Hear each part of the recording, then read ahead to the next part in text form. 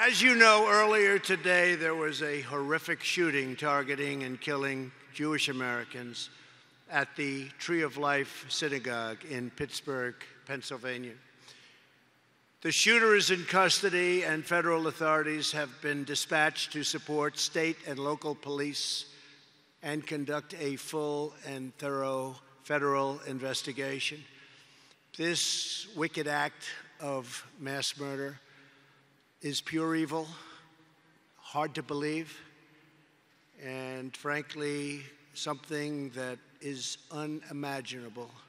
Our nation and the world are shocked and stunned by the grief.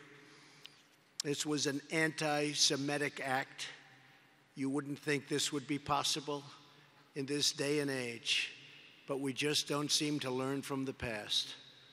Our minds cannot comprehend the cruel hate and the twisted malice that could cause a person to unleash such terrible violence during a baby naming ceremony. This was a baby naming ceremony at a sacred house of worship on the holy day of Sabbath. Anti Semitism and the widespread persecution of Jews represents one of the ugliest and darkest features of human history. The vile, hate filled poison of anti Semitism must be condemned and confronted everywhere and anywhere it appears. There must be no tolerance for anti Semitism in America or for any form of religious or racial hatred or prejudice. You know that. You know that very well. You know that very well. You're outstanding people. You were brought up incredibly by outstanding parents in most cases. And I just want to thank you for your understanding because today, with one unified voice, we condemn the historic evil of anti Semitism and every other form of evil. And unfortunately, evil comes in many forms. And we come together as one American people. I have just spoken. Go ahead. We should. We should.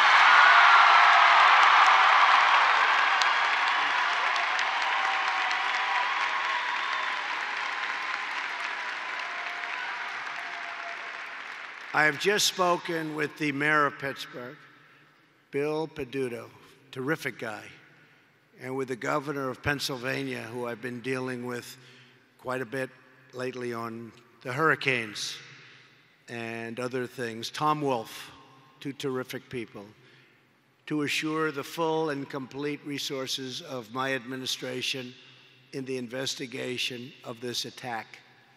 We are praying for the families of the victims, and our hearts go out to the wounded law enforcement officers in Pittsburgh, very badly wounded and very brave. The results and the facts will be put out very shortly, but these were very brave officers. These are incredible people of law enforcement, and law enforcement does so much for us.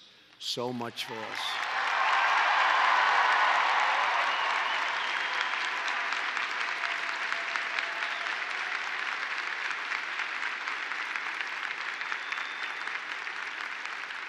They really do. They do so much for us, and they're really unsung heroes. They don't get the credit they deserve, but I've always given them the credit. These are incredible patriots, incredible people. We mourn for the unthinkable loss of life that took place today, and we pledge in their name to fight for a future of justice, safety, tolerance, morality, dignity, and love. We must all rise above the hate, move past our divisions, and embrace our common destiny as Americans. And it doesn't mean that we can't fight hard and be strong and say what's on our mind, but we have to always remember those elements we have to remember the elements of love and dignity and respect and so many others.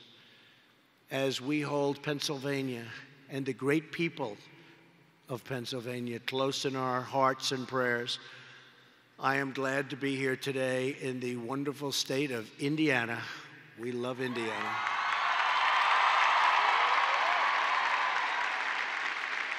And to address some people that are going to be so successful, the future farmers of America.